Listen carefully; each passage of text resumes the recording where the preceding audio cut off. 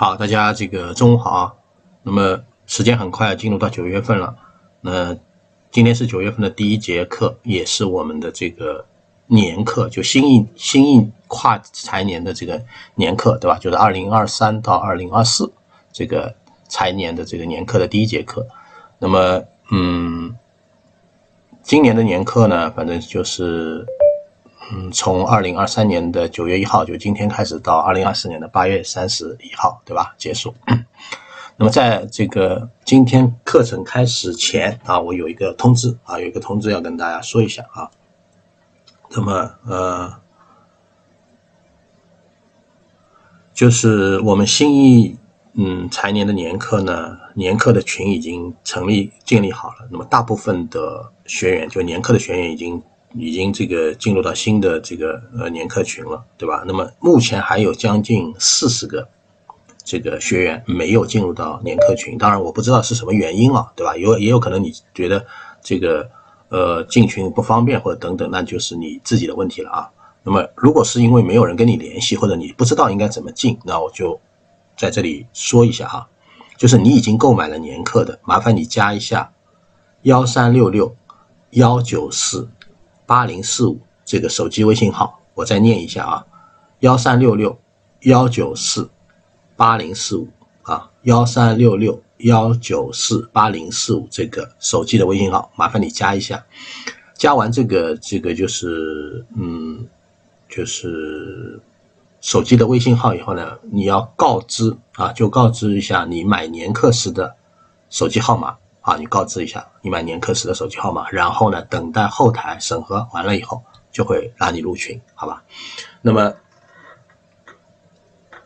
然后说一下那个就是呃年课的年课群的我们的这个服务，对吧？就大家都知道服务，那服务呢就是一般都会有早评、午评跟收评啊，然后当中呢十嗯十点半的时候呢，我会针对今天的盘面做一些。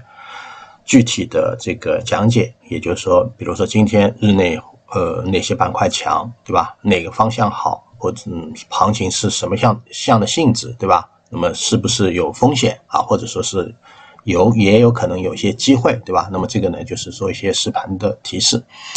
呃，当然这个早评、午评、晚评加上这个语音啊，语音的提示啊，十点半的语音提示，那就是这个反正就是。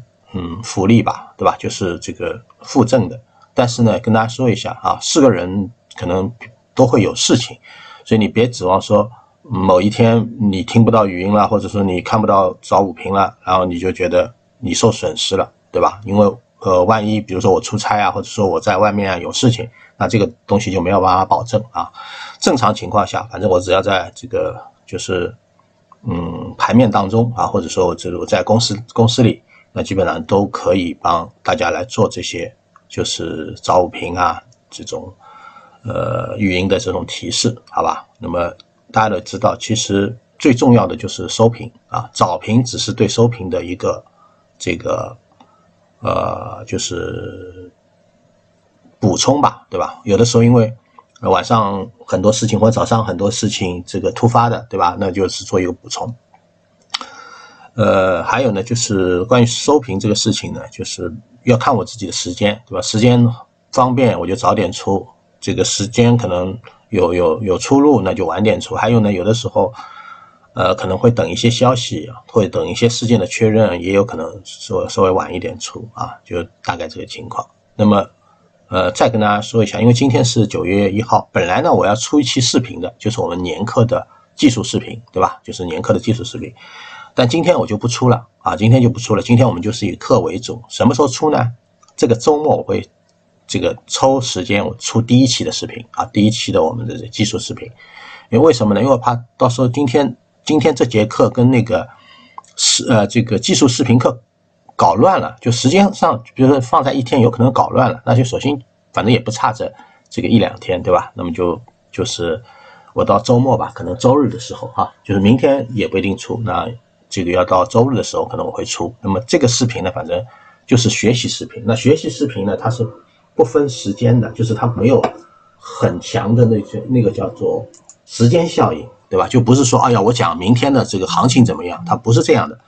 更多的其实就是实战的视频，这种这种就是技术的实战视频，你只要学会了，你就是自己去用，都呃用得到。那么各各个呃时间段，对吧？或者说各种行情当中，你就是要参考视频当中跟你讲的内容，你怎么去合理运用啊？然后呢，说一下啊，嗯，不是那么容易的啊，就是你别指望说，哎呀，我看一遍，然后呢，我打遍天下无敌手，没有这种事情的啊，就不用不用去想了这个事情，嗯。好好学，针对学，就针对了学。因为我跟大家讲过，因为比如说我们的学员里面也也这个也也有人之前跟我学短线的，都都就是要需要很长的时间磨练，他才能够找找到这种感觉啊，找到感觉。所以，呃，或者说他才有这种能够让自己就是嗯做短线的时候。相对比较从容，或者说他能找到更有利于自己的这种短线的模式。那你们学技术也是一样的，对吧？因为我的技术分成月线、周线、日线、分时啊，很就是嗯，包括大家很想学的 T 加零，对吧？到底怎么做？那么这里面都是有点讲究的啊。所以而且呢，你学一遍肯定学不会。啊，肯定学不会，因为它要叠加很多盘面因素的。它不是说，哟，你看啊，为什么同样的股票，对吧？我以前跟大家讲过，任何的技术你叠，只要叠加主线，怎么用都能赚钱。如果你不在只就是主线之内，那么就是你的成功概率一半对一半。所以你们学的时候，你也不要以为，哎呀，这个信号出来了，我就能做 T 加零，因为你要看一下你自己这个股票什么情况，对吧？你的股票一天的波动。就就就一两千万的成交量，一天的波动很小的，这种根本就不能做，有条件都不能做。你不是主线的，也尽量少做，对吧？所以这些东西都是要有要有，就是很强的这个叫做基础条件，然后你再结合你的股票或者你看看上的股票，对吧？再去做这种差价也好，或者说做买入也好，做抛出也好，这样的话才会有很好的成功率。对吧？所以千万不要想着说，哎呀，我就一招线，比如说就像人家用指标一样，哎呦，这个指标金叉了，我只要买入就能赚钱。这实际上是没有这种事情的。只有你以后自己学了，你用了，你就知道哦，我在什么场合我应该怎么怎么用，哪种情况下我应该是这个要先抛股票，对吧？哪种情况是风险比较大，哪种情况是机会比较大，所以它有很大的讲究的，好吧？那么呃。第一期的视频，嗯，如果没有意外的话，那么不出什么，就是正常来讲吧，对吧？呃，应该就是九月三号，你们能看到第一期的视频，好吧？就技术视频啊。今天反正我们就是还是以年课的方式跟月课的方式同步的做更新啊。那么回到市场啊，回到今天的这个就是课程当中。那么今天我们看到的情况就是，沪深主板今天表现的比较好，然后创业板跟科创板是调整的，对吧？那么呃，上证也好，深成指也好呢，嗯，这个今天收九月开门后的概率是比较大的。那么今天实际上最大的隐患，今天是这个，嗯，北向资金今天是就是嗯停止交易，对吧？就是因为呃港交所那边这个因为台风的关系，对吧？衍生品啊这些啊沪港通的通道都关闭。那么今天实际上就是内资在里面做。那么今天很明显了，有一点大家看到的情况就是早上成交量是萎缩的，对吧？目前来讲，一个早上过去了，只有四千八百亿的成交量，那这个量就肯定很小呀，对吧？四千八百亿的成交量，正常来讲，就是到了今天下午，最多也就是八千亿了，对吧？最多也就八千八千多亿，八千多亿这个成交量肯定不行，对吧？如果你在整个整体成交量，如昨天只有八千两百亿嘛。呃，昨天八千两百亿尾盘还有那个 M C M M S C I 的这个调仓嘛，对吧？那么整个来讲，嗯，如果整体市场的成交量低于八千五百亿，就两市的成交量低于八千五百亿，那么就变成什么？又是那种叫电风扇快速轮动的行情，板块轮的会比较快，然后个股呢杀伤力会比较大，对吧？就是没有持续性啊，说白了就是个股啊，这个板块啊这些东西就是个个股啊。呃，然后板块啊，都是没有什么好的持续性，对吧？就拉上去就有会抛，因为这是成交量决定的。那么今天大家看到的情况，就是上证这块，对吧？大家看到的情况，分时的话，就是大盘的白线在上，黄线在下。我们这边就是黑色的线跟呃蓝色的线，因为这是用这个黑白做这个底衬的，对吧？那呃，如果说是大盘的分时白线在上，黄线在下，那就大家知道今天是二八行情。所谓的二八行情就是权重拉指数，所以今天早上我们看到保险啊、银行啊，包括券商一度都是涨的，然后地产啊，对吧？然后消费啊这些东西，那么大家都知道，包括有色里面的煤炭，这个就是煤炭啊啊硅这个稀有金属啊这些，对吧？小金属啊，那么这类的都是上涨的话，那么他们对指数会有个正向的贡献，但有个前提。就是这种股票涨，这类板块涨，它需要有个最大的前提保证，就是成交量。如果成交量本身不够，那么这类的板块它是没有什么持续性的，就是你涨到一定的位置，它就涨不上去了，就像大盘一样的。到了这个地方，如果后面没有更多的钱了，推了，对吧？因为大家知道，股票也好，板块也好，指数也好，它的上涨都是需要资金来推动的。所以，一个万亿的市场。比如说今天是一万亿的市场，那当然当然它就走的会好一点。如果今天只有七八千亿的市场，那它肯定是冲高回落，对吧？所以这这些东西其实你就一定要知道。那么当你看到成交量不够，其实第一小时的时候成交量就不够了，对吧？你就知道注定第二小时是有回落的。所以那我在做今天做语音的时候就跟跟大家说了，对吧？今天是二八行情，它对成交量的要求非常高，你第二小时的成交量就是一定要顶上来，对吧？那么很明显第二小时没什么成交量嘛。那么这里面呢，有一部分的原因就是可能这两天，就昨天跟今天，啊，因为很多头部量化的老板会到那个好像是到这个青岛去这个开会了，对吧？那后面我觉得可能因为现在市场的怨气很大，主要的怨气就来自于对这个量化基金的这个产品的这种怨气，对吧？主要原因是什么呢？因为现在很很有意思，就是量，就是当一个一一个。呃，当一种方式，对吧？当一种方式被整个市场所并，就是就是唾弃，或者说被整个市场嫌弃的时候，那这个方式肯定是有问题的。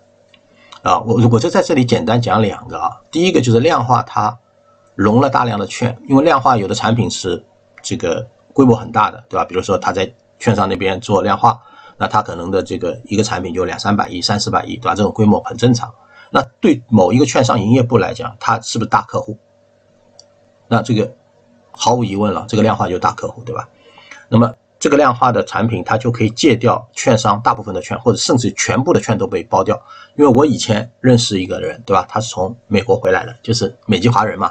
然后他借了我朋友那个账户，然后去做这个，这是好好多年前的事情了，二零一八年的事情了啊。然后他借了我朋友的账户去做什么呢？他是一分钱都没有的。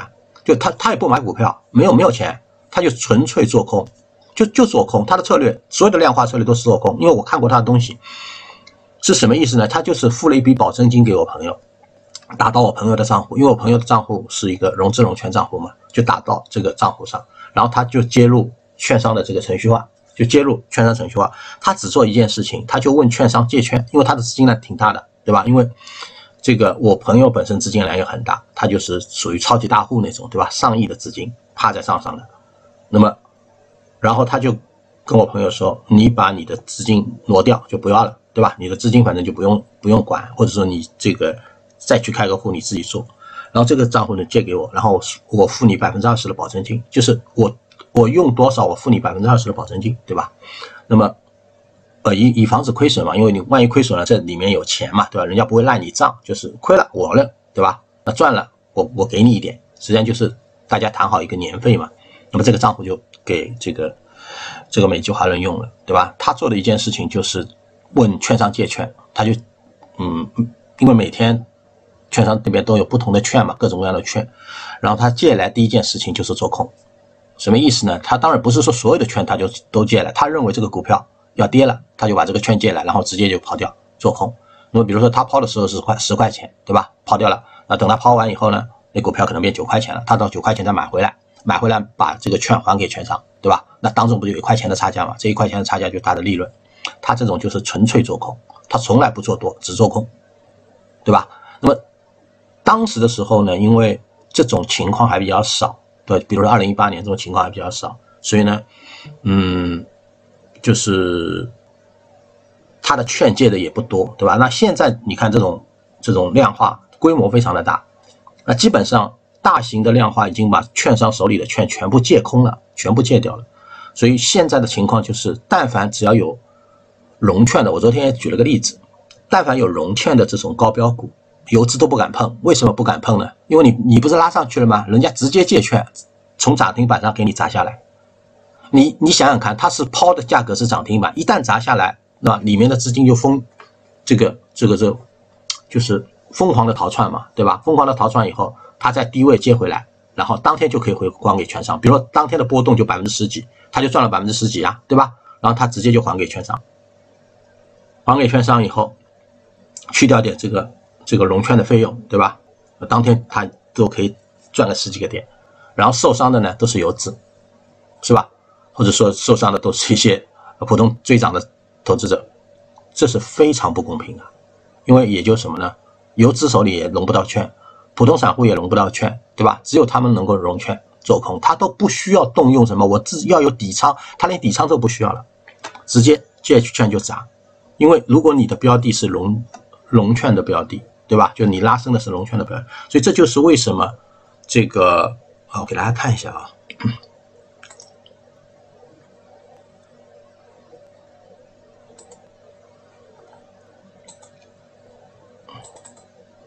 给大家看一下这个股票，对吧？叫。这个融捷技术今天还是涨的，这个票就不是融券的标的啊，不能融券，对吧？所以还好一点，就人家可能游资赶上，不然的话，很多融券的标的你封一字板，对吧？第二天直接砸掉，一根大阴线，让人家最高价砸下来了，砸下来就集合竞价就开始砸，砸完了以后，当天可能就就是一碗大面，十几十十个点的大面，人家就直接只要买得进，对吧？那但因为你砸下来，你哪怕是跌停板，他也买得进啊，买完了以后，人家就直接这个还掉了券。所以这个是很恶劣的这种情况啊，就是这种情况是非常恶劣的，对吧？啊，像这种都不是融券的，都不是融券标的，还是确实能够涨。那么这反正我就是举例子了。那么在这种情况下，就说明什么？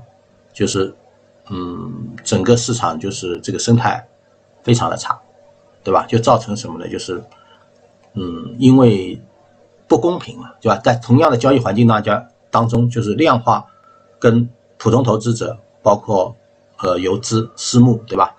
呃，包括跟公募都是不公平的。现在等于说什么呢？就是公募、私募、游资，对吧？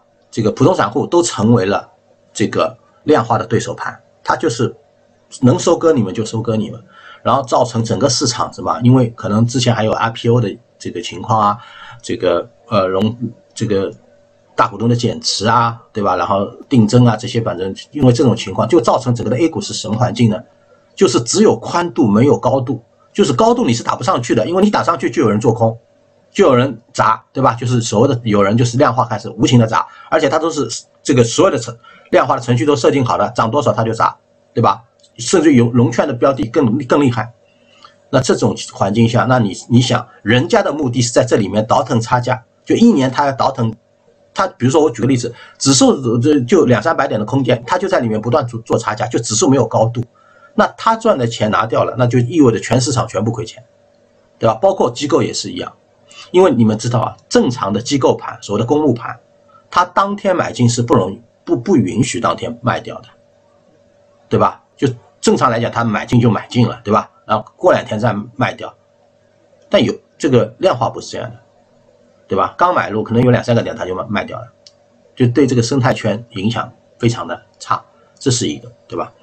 第二个是什么呢？就是造成这种强烈的波动，就是它点火拉上去了，到快涨停了，你看游资疯了，结果它啪砸掉，砸下来日内再来一次，它一天可以做两到三次这种情况，所以为什么现在不管是游资还是散户还是这个和这个公募都对量化非常的恼火，对吧？不然的话呢？管理层也不会去召集这些头部的量化。现在虽然他们拿交割单出来说那天二十八号那天他们没有做空，对吧？没有抛，没有去做空。但问题不是说他们在二十八号那天有没有做空，而是他们利用的这个规则，就是找他们找到了这种交易的规则漏洞。那这样的话呢，如果交易规则本身是有漏洞的，比如说格子龙对散户是，哼，对游资。对散户都是有效的，但是对量化是无效的，因为人家是机器人，直接就啪一根直线就可以拉上去的，对吧？它可以挂单撤单，这个很快，毫秒级的。那你想想，如果是你一样，你现在，我们不要说什么游资了，就你现在拿了一千万，对吧？去买一只股票，一会儿挂单，一会儿撤单，交易所电话啊，那个叫什么营业部电话早就打过来了，你干嘛？对吧？你你你可以试试看，你不要说拿一千万，你拿个五百万，你买进又撤单，对吧？又挂又撤的，你搞了好几次一天，你看看这个营业部会不会给你打电话？但是这个东西对量化就没有作用，量化都是高频的，毫秒级的，想撤就撤，想买就买，想拉就拉，对吧？所以这是极度不公平的。所以这些其实就是人家赚了你这个这个这个嗯交易的这个就是控制嘛，对吧？就是规规章规则的这个控制，对吧？所以这种需要类似这种票都讲不清楚，对吧？三个涨停板，你也有可能是量化砸的，都讲讲不清楚。所以，呃，我。这里讲的还是比较，比较就是台面上的东西啊，还有非台面上的东西啊，对吧？大家都知道，场外期权是可以做走这个私募通道的。那如果说联合期权，有些资金如果说联合期权，对吧？就联合场外期权，就所谓场外期权就是说个股期权嘛，因为大家都知道场内的期权就是指数嘛，对吧？指数的期权嘛。那如果联合起来做这个。呃，场外的期权就个股的话，那这个威力更大了，对吧？所以这些东西呢，我就不展开讲了，反正大家知道就是就行。那么在这种情况下，嗯，这两天可能会对量化产品有所影响。那么量化产品大家也知道，我之前说过了，量化产品会占到整个市场的百分之这个三四十的交易量来，对吧？那你看嘛，如果停掉一部分，那就是一千多亿，人家不没没没来交易嘛，那你就少了一千多亿的成交量，这个很正常，对吧？那市场肯定是不活跃的啊。那么这个是一个原因，到时候我们来看看这个周末到底有什么具体的这种就是措施出来啊。那我们回到市场，上证指数今天是个冲高回落，对吧？主要原因是这个呃，就是成交量不够。那么本次，呃，差不多吧，我觉得就是在二十均线这里。本次反弹的目的目标，就第一目标应该在二十均线这里。但是呢，有个前提，就是未来两天一定要翻过，就是至少你要打过三千一百五十点。如果你未来两天打不过，就就比如说到下周你再冲一下，冲不过去，到周一冲不过去，那你要做好这个准备，它有可能要折返了。就到下周一还冲不过去，就要折返了。为什么这么说呢？因为正常来讲，比如说啊这是一波正常的行情，那你这里调了两天嘛，就冲高调两天，那你应该反身在未来的两天要反包掉这根 K 线，对吧？这就是要包掉这根 K 线，这根 K 线的最高点就三千一百五十三点，也就是二十日均线所在的位置，你你得反包掉它。如果反包不掉，就两就是两根对两根嘛，就是两根下跌 K 线对两根上涨 K 线，如果反包不掉。那这个地方就代表着遇主要回落了，所以你要做好这个准备。所以这也是我昨天晚晚上这个写收评的时候，大家看到对吧？就是你要做好这个准备，就是它要二次回踩，啊，所以我我现在不去猜说一定怎么样。虽然我的主观对吧，我的主观判断跟大家讲了，我觉得应该是要奔着二十日均线去的这第一目标，但是因为市场现在成交量萎缩的太厉害，因为成交量不济是对指数最大的这个制约。这个是很重要的，对吧？所以有人直接就这波看到三千三了，就有人直接看到三千三，有人觉得这个地方要去破新低，考验三千点。这两种这两种说法，我觉得都有他自己的道理。但对我们来讲，我们不是不去迷信的说，我一定要哪种走出来，这个我觉得没必要，对吧？首先有一点，我的观点是说，市场底现在还没有探明，或者说没有确认。那么既然是没有探明、没有确认，时间也不够，那你就要首先做好就是反弹后再下的准备，而并不是说反弹一路畅通无阻。这根 K 线我上次说过了，对吧？上一节课我们说过了，这根八月二十八号的这个 K 线没有那么容易收复的，这一半的位置你都收复不了，对吧？就现在来看都很弱，没有那么容易收复的。它跟去啊这个二零二零零一年的时候，当时就。十几根 K 线就直接收复了，也是降印花税，是不一样的。为什么？因为所处的位置不一样。当时的位置不是在这个位置，它是在这种位置，所以它容易收。那么，因为它底底下已经有人建了仓了，就是拿了筹码了，所以它就容易抬上去，对吧？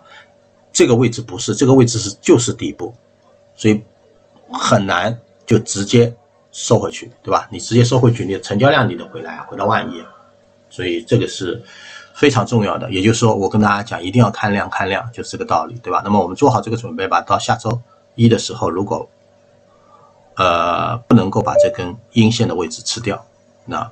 你要做好后面继续调整的准备，好吧？这是指数，那上证是这样嘛？深成指也是一样了，对吧？都是奔着二十日均线去的。呃，这个呃，创业板指数也是也是这样，对吧？然后我们这重点就说一下这个科创板指数啊，科创板指数，科创板指数的成呃这个重点也是成交量，就是即使是调整，科创板指数的成交量不能去。低于七百个亿，对吧？所以今天早上只有四百四百个亿，其实挺危险的，很有可能今天是要低于七百个亿的。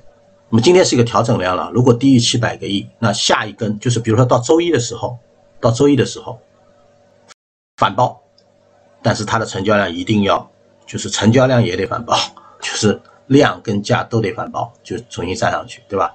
那么目前来讲呢，就两个判断科创板两个。一个是科创板短期里面这个缺口最好不要补，因为补了缺口它就不强了，对吧？补了缺口，如果再再缩量，那基本上就没戏了。就什么意思呢？就是你科创板就得这个 面临二次回踩，因为科创板真正，比如说这个，比如说八百六十五点嘛，我们怎么判断八百六十五点就后面不再破了，或者说它就是底部了？那它至少要有一个动作，就是要突破。呃，九百七十七点，我这个也写过的。为什么它这个破呃突破了九百七十七点，它实际上就是在技术上是一个破底板，对吧？那这个就是这个低点就不容易被打破，就是基本上是成立了，就不会再破了。所以在这个位置上，我们只能看缺口，对吧？一般来讲呢，缺口三天不补是最强的，对吧？是强的，那后面应该是连接的，就是继续向上向上。那么好的地方是什么呢？科创板是这一轮反弹的唯一。这个我们说最强指数嘛，对吧？同时也是成交量这个放的最好的。那么也就是我们只看科创板，如果科创板走弱，那整体市场就走弱。就是科创板如果说走弱了，连这个缺口都补掉了，你就知道了啊，大盘就整个的大盘都将进入到寻市场底的阶段了。那个时候，这就是为什么我说，呃，前面我跟大家讲过的是什么？上仓位，对吧？就这个时候讲的是上仓位，然后昨天开始讲的是减仓。对吧？又回归到其实那个周三我们讲课的时候就讲了，那你要开始做减仓了，就是把你上的仓位获利的了结掉，然后什么恢复到六成左右或者六六六七成都可以吧，就六到七成之间。那恢复到这个仓位，以应对什么呢？以应对后面有可能要出现的市场底啊，这个是先知条件啊，这个先知条件。那么，然后呢，科创板最近呢，实际上也有利好。什么利好呢？主要的利好就是来自于大家传的，对吧？本来是传这个周末嘛，对吧？可能，呃，要这个降门槛，那到底怎么降？不知道，对吧？有人说降到二十万，啊，同时呢，今天又在传北交所那边也要降门槛。那如果说北交所降门槛的话，那科创板是百分之百降的，对吧？好，这是一个。第二个呢，昨天上交所啊破天荒的这个就是发声支持科创科创板，对吧？然后呢，点名点了三个方向，哪三个方向呢？这个官网上都有啊，大家自己可以去找。我只是说跟大家说一下，破天荒了点点了三个方向，第一个方向叫半导体，对吧？第二个方向呢叫创新药啊，就是那个呃医药这块，对吧？第三个方向叫新能源，他就点了这三个方向，认为这三个方向是未来科创板发展的重点。那么既然方向也点了，对吧？板块也说了，方向也点了，那么我们有理由相信科创板。是最有可能，就是最早，也是最有可能从底部反转的。那么现在我们要做的这个事情，就是一个是看成交量，对吧？就是最重要的还不是说下跌的成交量，是上涨的成交量。你后面上涨成交量一定要反包，就是反包掉这个，嗯，这根今天阴线的成交量，对吧？然后呢，还有一个就是这个缺口不能补。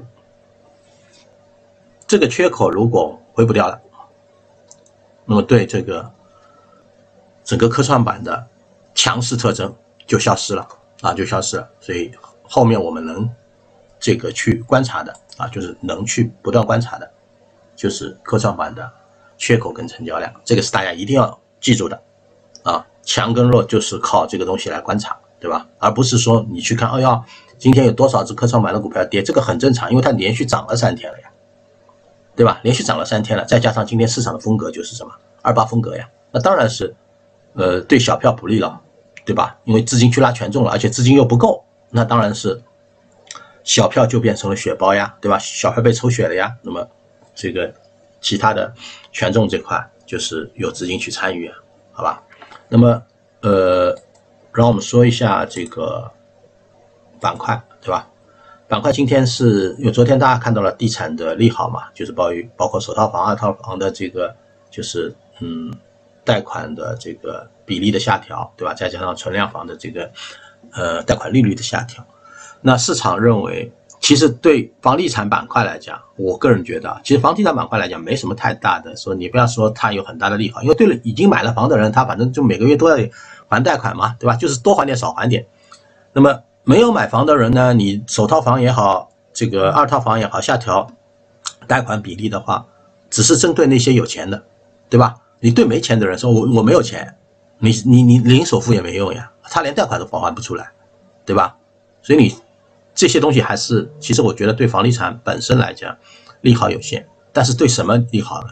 就是对消费利好。为什么对消费利好呢？特别是存量房嘛，因为你每个月少还贷款了嘛，对吧？那么有统计说，一年下来，这个如果一百万来算的话，那大概能节约五千块钱的这个贷款支出。那这五千块钱就。不就是变成了消费了吗？所以大家看到的情况就是今天消费上来了，对吧？那么首当其冲的就是商业连锁，就是这些老的嘛。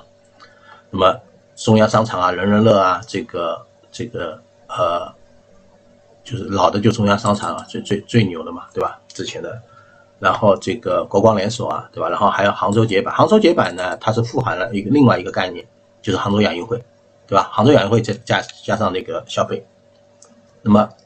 杭州园林也是这个杭州亚运会的概念啊，也也涨停了。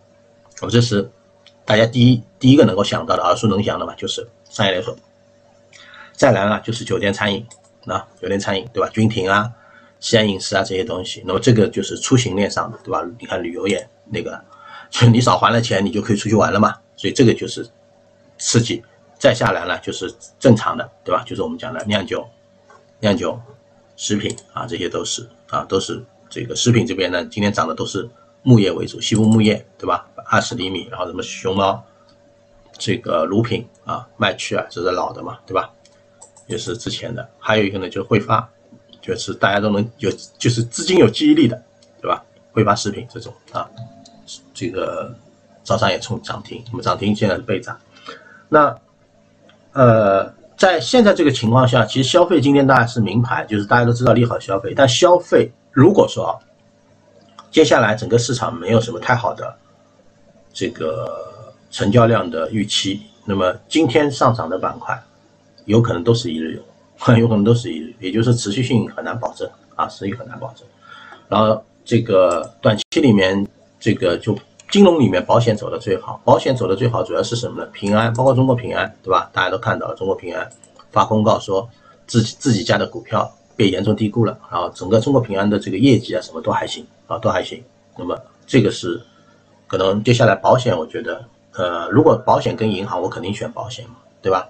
然后券商为什么？券商今天是冲高回落，我我也跟大家讲了，对吧？我说券商股的反弹都是减仓的机会。因为券商有个最大的问题，有短期上涨的逻辑没有了。它短期上涨的逻辑有两个，啊，第一个其实就是当时的降印花税，对吧？就是整个的就是降印花税。第二个上涨的逻辑就是活跃资本市场。那现在大家看到两个两个预期都没有，第一个印花税已经降完了，对吧？呃，利好出完了，那么它就这一天已经兑现掉了，其实对吧？所以指数也破位了。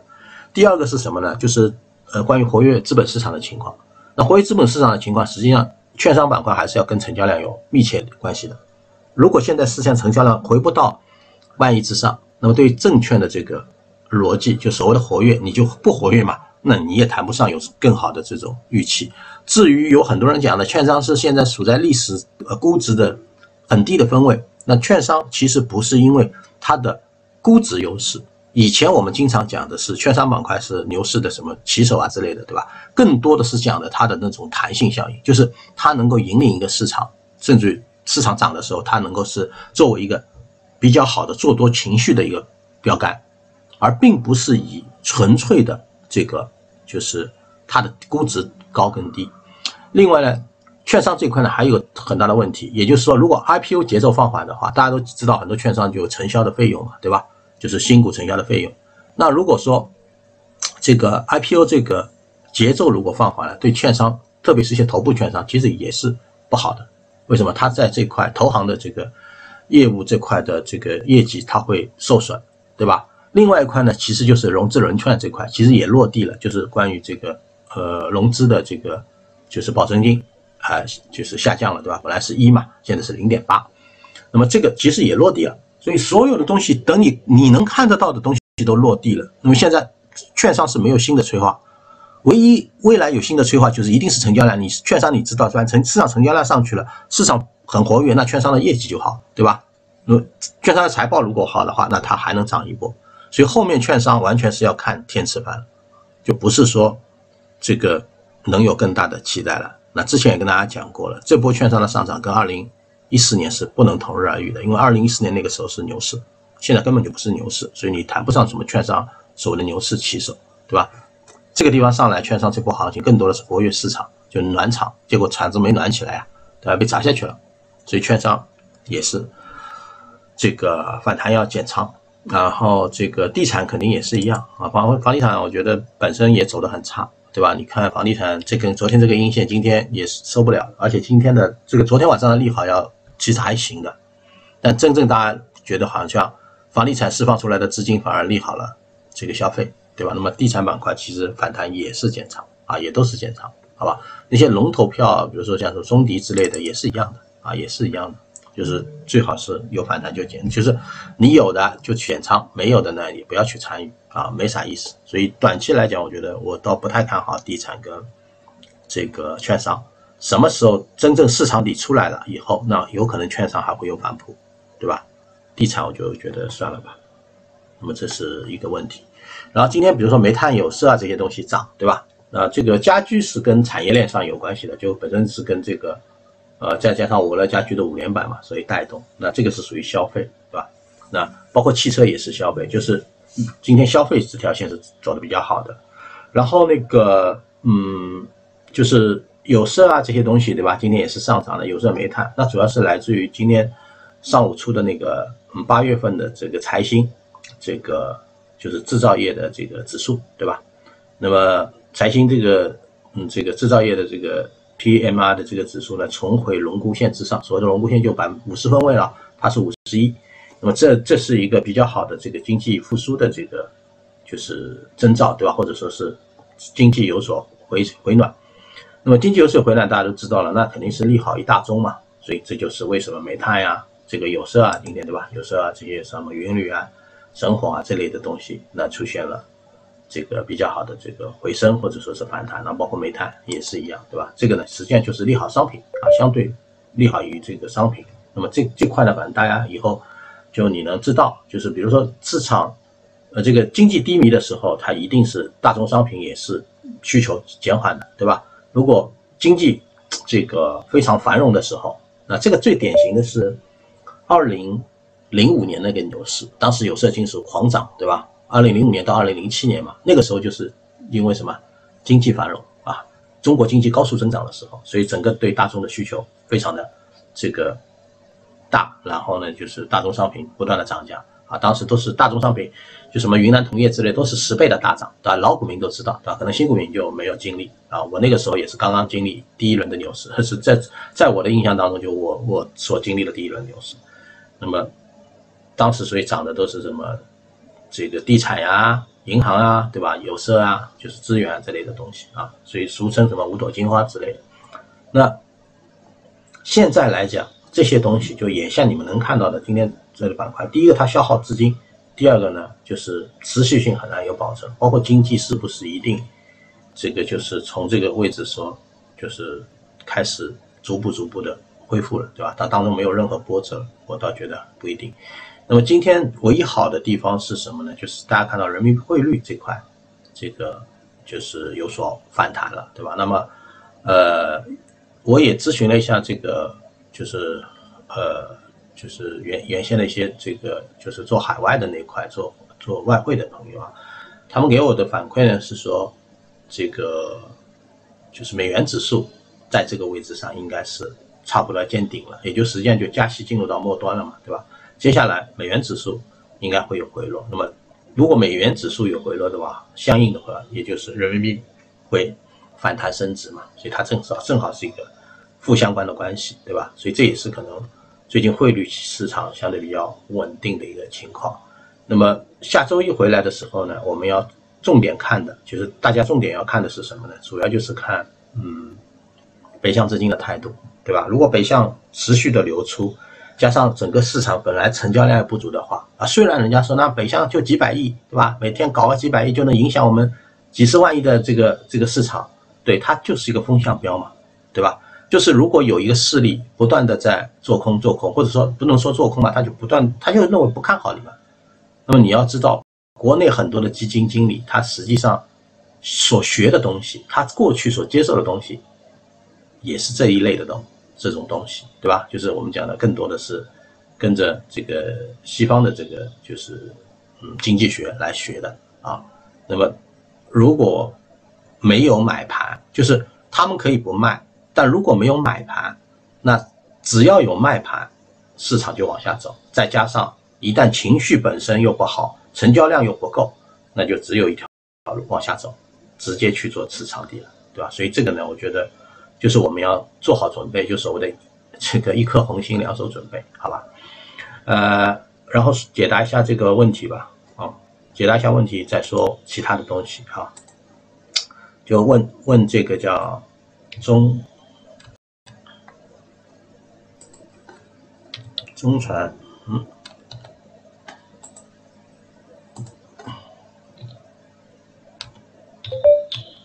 特气对吧？中传特气，中传特气呢，就是一个，也是一个半导体的这个算是材料股吧，或者是气体也算是特种材料嘛，对吧？那么就是从底部刚刚起来，那么这种票呢，就是跟着半导体、跟着科创板的，对吧？那如果做作为这个中线票的话，那就没啥问题啊。作为中线票本身没没有什么问题，也就是说现在就是个就是底部区域嘛，对吧？那么。你做中线票的话，你就得要有点耐心啊，有点耐心。然后那个还有一个就是力高食品，对吧？力高食品也是一样的，对吧？就是一个底部区域，就底部区域。那么力高的这个业绩也出来了，对吧？中报的业绩出来了，净利润这个同比的还可以吧，百分之五十以上，对吧？那对应它的这个 PE 啊，也就是说它的 PE 也就是五十，对吧？那么一般来讲，我跟大家说嘛，白马股啊，像这种就是白马白马股行业龙头嘛，对吧？也就是属于行业龙头的这个票，就是主要是做这个烘焙原原料的，对吧？这个烘焙烘焙的这个材料的原材料的。那呃，力高又称为中国烘焙这个就是材料的烘焙食品吧，应该算是烘焙食品的这个第一股，对吧？那么正常来讲，我我就说正常，我们不说这个偏离值。什么叫正常？正常就是如果你的净利润增速能保持在五十以上，那按照我们 A 股能给的，能给的什么呢？就能给的这个叫做估值，应该在七十到八十倍，至少是这个范围。这个这是至少的，对吧？那现在显然它是低估的嘛。那有人说，低估的票就一定能涨吗？以前是，现在不一定，但它一定会涨。什么意思呢？就是现在时间上不确定，但是就是我们讲的叫做它有可能会迟到，但它一定会到。就以前不会迟到，以前就只要你出现这个情况，你买进去就能涨，很快就能涨，可能一两个月就能让你立竿见影，对吧？但现在因为什么？市场缺缺少成交量，然后呢，各种制度又在建设当中，对吧？或者说包括包括这个这大股东解禁啊等等这些事情都在慢慢的理，它需要时间。另外一块是什么呢？消费还没有完全的复苏，整个的消费线现在也不是市场的主线，它就会迟到，就往后推。但有一点是肯定的，就是我们我们说的数据它不会骗人，除非利高年报出来，季三季报出来严重亏损，那另当别论。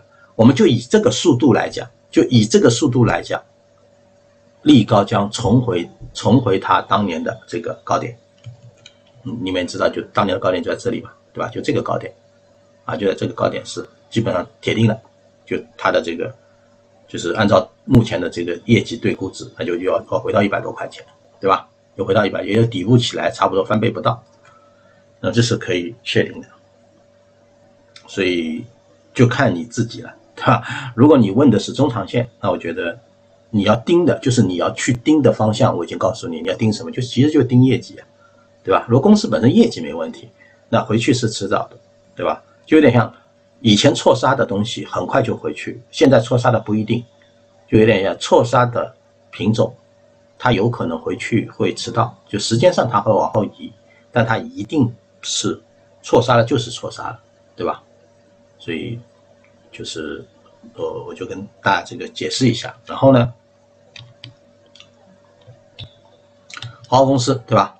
航空公司又跌回了这个发行价这个里面了，对吧？那么一度也涨了几天了。那么这种其实就是很明显的可以套利。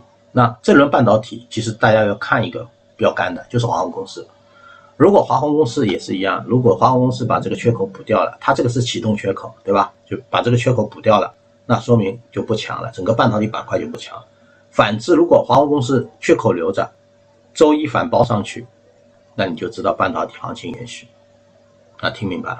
这也是为什么我说在这这这个这个，因为它又是个次新股嘛，所以它不存在解禁的问题，它也没有说筹码的这个高度套牢筹码的压力，那它就应该能够，就是一个板块，如果比如说半导体板块要涨的话，它它它是一定不能缺席的，它不会缺席的呀，因为它筹码干净，没有解禁压力，对吧？那它怎么可能不涨呢？再加上业绩也没什么，就是从半年报来讲，业绩也没什么大的瑕疵，对吧？或者说也没说，哎呦，我严重亏损等等。所以这就是我们观察的盘眼，所以这种是大票，对吧？大票的盘眼，那大家就是知道怎么去应对就行了啊。所以也是为什么我说，就是要不半导体不涨，那半导体涨，华虹是不可能缺席的。那之前就是很多时候。你买了以后，对吧？有人着急忙慌买了套了，对吧？啊，有的有的这个可能本来想跑进去捞一票的，结果呢没捞到，这个跌下去了就很慌，对吧？所以你每次就是为什么让大家我的课多听几遍呢？就是因为我我帮你们选票的时候，我已经把逻辑说了，对吧？就是这就是为什么，如果你不听逻辑，只听一个代码，你跌了你当然慌慌的了，你就是你想。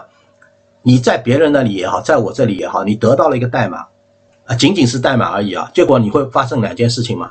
哪两件事情？第一个，涨了，你问什么时候抛；跌了，你问怎么办，要不要补偿？你就你永远就这两件事情，也就什么呢？你买了个股票像买了个定时炸弹一样，涨也不好，跌也不好，永远是问题，对吧？涨了涨得你心慌，跌了呢跌得你心慌，对吧？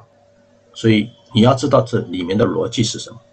就是你去选它是什么逻辑，怎么来观察，怎么来判断，那你就不会慌了呀，对吧？因为我我在这里我是我们是 不做解个股解答，对吧？这个免得有什么推票嫌疑啊这类事情，我也不愿意去做，对吧？那我我在因为另外一个平台上有人可以提问嘛，对吧？人家就问了呀，问了我的答案就拿着呀，对吧？我包你再能回到发行价上之上呀。因为这个不是这个，就是我我当时选的时候其实就有答案了，因为它的答案就是只要半导体板块涨，它就不会缺席，对吧？如果说一个板块涨，它永远是排在最后的，或者是不受待见的，那你选它干嘛呢？就不用选了呀，对吧？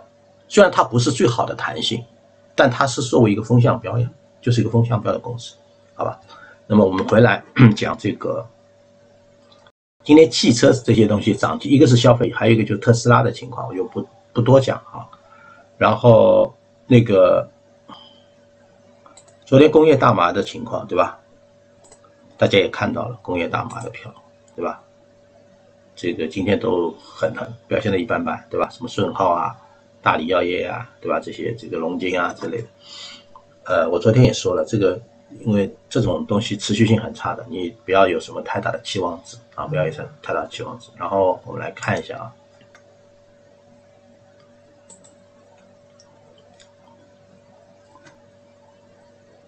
看一下板块的这个三日涨幅榜，这我说的是昨天啊，昨天三日涨幅榜排名第一的就是半导体，就是半导体啊，半导体是昨天排名第一的。那既然半导体排名第一嘛，对吧？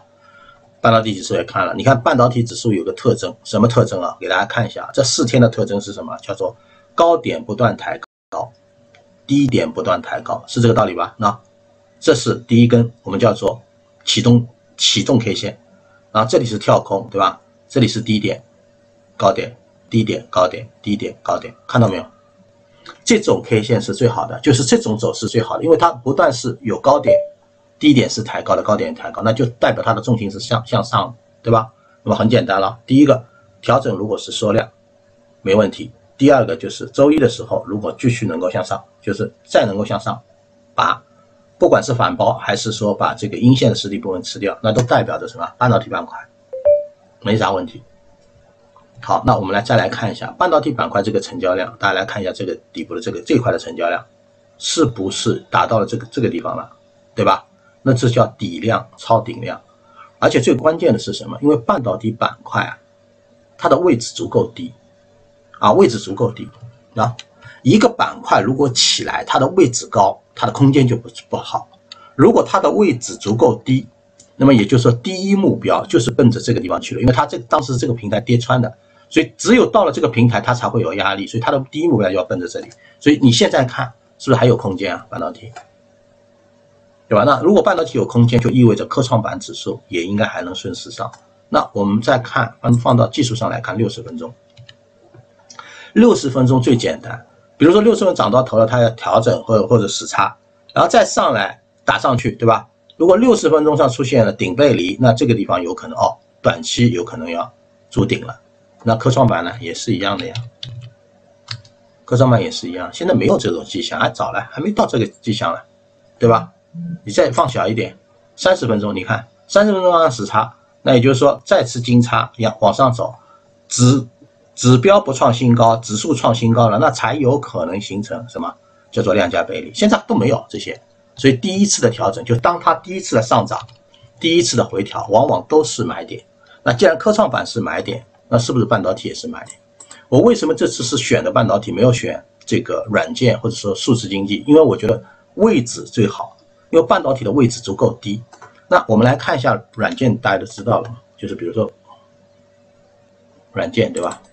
软件为什么在今年年初涨了那么大一波呢？因为当时软件跌的最惨呀。所以你看，当时软件跌的摧残，这是二零二二年的，就是当当时就是上海风控的时候，对吧？然后见底了，就是软件板块先见底了，然后它的重心不断上移，出了这个主升浪，对吧？你看这一波波很明显的，比如说这里是第一浪，这是回调，然后这里是主升，对吧？就就这样的呀。那现在你们看所有的板块里面，是不是半导体板块最有像当时？软件板块的气质啊，因为位置足够低啊，那是不是位置足够低啊？如果位置足够低，后面有事件驱动，或者说至少有行业的这种反转，什么事件驱动？短期和事件驱动就是什么呢？一个是在传我们要成立这个光刻机公司，对吧？第二个是在大家讲的是什么呢？就是这次华为的这个新的手机，对吧？这个 Mate 六零 Pro。这个用的是全国产的，对吧？除了芯片是海思自研的，是吧？麒麟九零零 S 的，再加上这这个代工是中芯国际，因为有人已经把这个呃这个这个手机给这个拆解下来了，对吧？那就意味着本身消费电子这块的芯片是有了重大的突破，有了重大的突破，然后到时候只要看一下华为新手机的出货量，整个华为今年的这种电子产品的这个就是。三季度的出货量或者说是这个销售吧，对吧？再加上苹果接下来九月中旬也要发布新品，对吧？那除了 iPhone 十五以外，还有这个类似什么 3D 打印的这种手表啊之类的，对吧？如果整体都销售很好，对吧？我们也不是说希望苹果不好，对吧？是不是？毕竟是世界巨头嘛，就是这种电子产品。那么如果这两大，呃，毫无疑问嘛，首先说华为肯定是今年的这个，因为从中报出来了，已经很清晰了，对吧？业绩非常好。那么，呃，华为的这个手机的这个市占率，在今年的这个三季这个三季度以后，肯定会有所抬升的。那么再加上苹果，如果新品也受市场欢迎的话，那整个消费电子端就有望提前复苏。那消费电子端提前复苏，就意味着半导体板块，就半导体行业，对吧？也就是从低谷爬上来了。那如果半导体板块从低谷爬上来了，那这个是我讲的是不不是什么限这个就是别人制裁你不制裁你，因为它是这个需求回暖了。那需求回暖对对全球的半导体板板块，整个全球的半导体行业都是。重大的利好，对吧？再加上后面，比如说存储啊这些，对吧？算力啊这些芯片，是有一些这个对于人工智能 AI 未来这个就是我们说的这个升级换代所这个产生的需求。那么半导体板块很有可能在今年的后面，就是呃三四季度有望什么总体的走势要比。这个上半年的 AI，也不是说比上半年的 AI，也也就是说比现在的这个就是人工智能 AI 可能要走得更好，啊，所以这是位置决定的，就你跌的有多惨，你才有机会回去，对吧？你才有机会回去。那，呃，这么说吧，也就是说，大家可以看一下啊，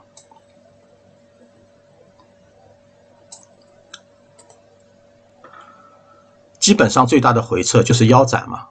对吧？是不是腰斩？就是最大的回撤就是腰斩，就是半导体指数啊，这是。那你现在大家来看一下，它最低的位置啊，跌到这里的最低位置是跟腰斩离得很近的，对吧？是不是离离得很近？百分之四十几。那我们来给大家看一下啊，呃，当时的软件，对吧？就软件也是一样的，软件从这个位置跌。跌下来这一步，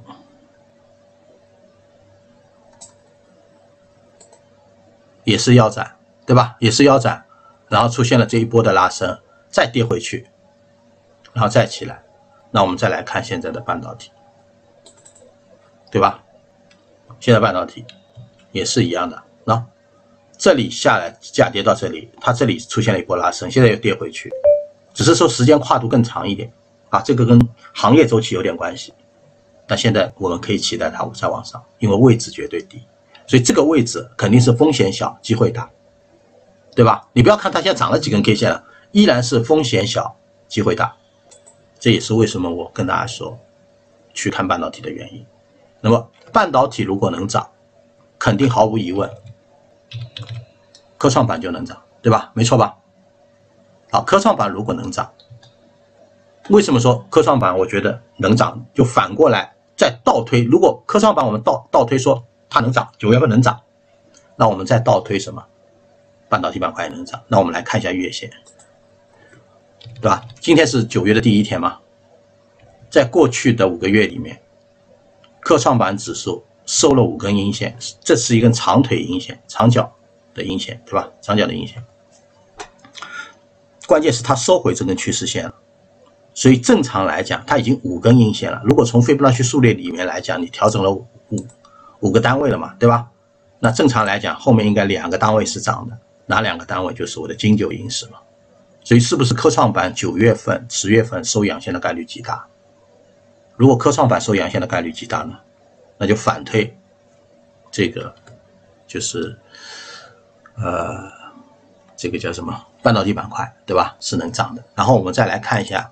因为昨天收月线嘛，没我我我我是年课我是说了对吧？我们月课没说，就年课你们已经看到我的观点，什么意思呢？就一般来讲，比如说这种破位的，对吧？一一阴穿三三阳三根均线的，就类似这种带下影线的，一般都要考验下影线。这也是为什么我说九月份还有一个市场底要去探，就是你后面即使收上去了，你也得探一个市市场底，只是说这个市场底是怎么探的问题，对吧？是在这个。九月中旬，这个中下旬前就探明了，还是说要等到九月下旬，对吧？就这个这个节奏都是一样的，就是那种大阴线杀下来破位了，你都要面临着这个，对吧？甚至于都不排除再创新低的这个 K 线出来，然后再能反击，十月份再能反击，啊，这个是深成指也是一样的，对吧？它留有这种短的下影线，一般都得考验，啊，创业板也是一样，都是这样的。就这根下影线的位置，肯定要是去测试的，到底是不是对低点，好吧？所以从结构上来讲，只有月线上从结构的角度上来讲，只有科创板是有真正就是最早有可能见底起来的，因为为什么它的影线足够长，就不一定会打到影线，就可能就再探一下是有可能的，再探一下就起来，啊，就起来，好吧？那么这个今天这个周末的我要讲的这个。内容就这么多，所以大家都知道应该去买什么了。所以如果说今天下午要买什么东西，你就很清楚了，对吧？调整的时候你应该去买什么？呃，六八打头的科创板的是重点。那像上次我们已经讲过了，的？科创板里面有一百六十八只破破发股，然后呢，你去找，比如说你你不是说纯粹我说我非要去这个做个强势票的，对吧？那么很简单，大概四十几只股票，你可以用同花顺的这个问财去搜一下。就是什么呢？破发，就是股价破发，然后呢，业绩不亏损的票，就中报都出了嘛，业绩不亏损，股价破发的，那么你看一下底部有的已经开始放成交量了，那这种票你就可以潜伏一下，为什么呢？至少能能潜伏到 这个发行价呀，对吧？上节课我们不是讲了那个，给大家举了个例子嘛，对吧？就举了个例子，三盛国建嘛，破发的，对吧？然后呢，这个。股价是破发的，业绩是大增的，那这个就没啥问题。如果你放大看，它是不是在底部？还是在底部嘛，对吧？只是这个慢慢这个，对吧？你看月线就很明显，对吧？那其实还是相对底部，还是破发的。当然，再说一下，个股仅供举例参考啊，不作为这个买卖的依据啊，因为还有比它更好的，你们自己去找啊，肯定有比它更好的呀，对吧？四十几只股票来，我都能选出四十几只股票。那你在这四十几只股票里面，周末花点时间去翻一翻嘛，对吧？最好是什么跟科技相关的，那它的弹性就会更高，好吧？那今天要跟大家分享。